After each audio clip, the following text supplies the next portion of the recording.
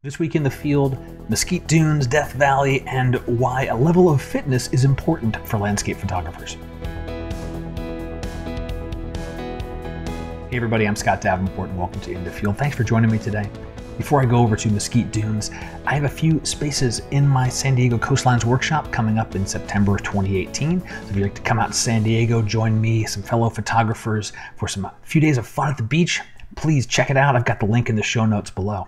So, Mesquite Dunes, um, I was reminded of this shoot because I've been sick for the last few weeks, and when that happens, you tend to fall out of certain rhythms, and I'd fallen out of uh, some type of regular exercise rhythm. Uh, and that's important for landscape photographers because uh, landscape photography means often you're hiking, you're walking, you're carrying gear, and those things take a toll on your body. And so having some level of physical fitness is important. Now, you know, I'm not a hallmark of fitness by any stretch of the means, but it is important to have, you know, some level of stamina to be able to get out to the places you want to reach to get the photos you're after. And Mesquite Dunes really reminded me of that. So uh, this uh, this footage I'll share with you is is from a few months ago. Back in December, I was doing my final scouting for a workshop out there, and I'd scouted the dunes the the day before. Wanted to get out there for sunrise when the light hits the the dunes and the sand, and it's it's a really wonderful experience with or without a camera. Uh, but uh, it was not easy to climb up and down those dunes. It really, uh, really took a toll on uh, on my legs. But let me show you some of the footage here, and then uh, I'll come back and talk a little bit more about uh, the whole experience. Ah, oh, my heart is beating like a jackrabbit. After climbing, seems like forever out of the mesquite dunes, trying to get to a point where the dunes were smooth. It wasn't a, a very windy night, so most of the dunes are still trodden. But I'm focusing primarily on that area right there. So I'm perched up on a pretty tall dune right now. I'm going to reach in with a longer lens and uh, as the sun comes up, make that my photo. Uh, so I bit the bullet, walked another 10 to 15 minutes in. And uh, gosh, you know, as you get closer, you realize, you know, those dunes aren't as clean as you thought. There are plenty of footprints and trails up and down them and so forth. But this is a pretty interesting vantage point, and so I got some different sweeps and curves, and the sun is finally starting to touch the very tips of the mountains back there, you know, nice pink glow.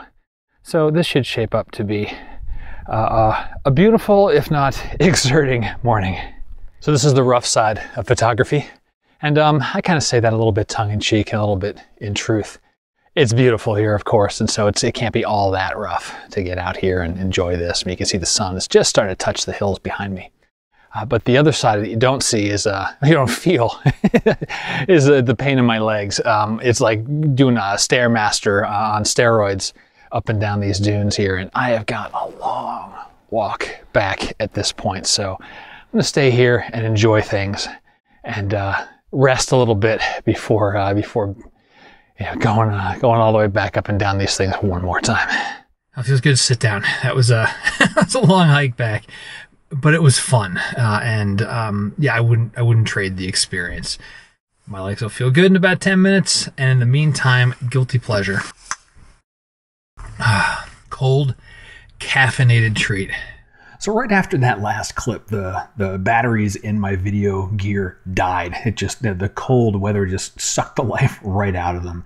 Uh, but I did at least capture a, a, couple of photos of how I was set up. I was primarily using a longer lens to to reach out and find as much of the dunes as I could that didn't have tons of footprints. But that, that just wasn't going to be possible that day.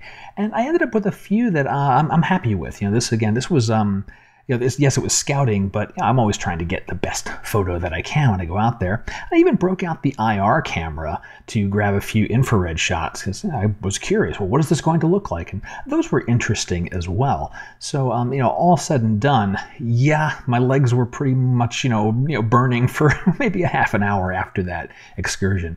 But keeping my fitness level reasonably up to date and you know, my legs reasonably strong, I was something I was able to do and get out there and get some some nice photos.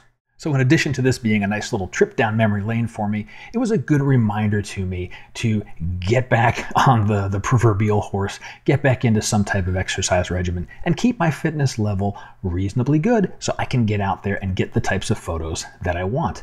And I'm curious to hear if uh, what you folks do to kind of stay in relative shape. Uh, I do a lot of walking, and I've got an elliptical machine in the house on the occasions that uh, I, I can't get out either during daylight hours or we occasionally get bad weather in San Diego. But you know, what kind of things do you do to you know keep yourself uh, fit so you can carry the gear, get out to locations, and and do the types of shoots that you like to do? So leave those uh, comments below, and uh, any other questions you got about photography, feel free to hit me up. Until next time, my name is Scott Davenport, and happy shooting.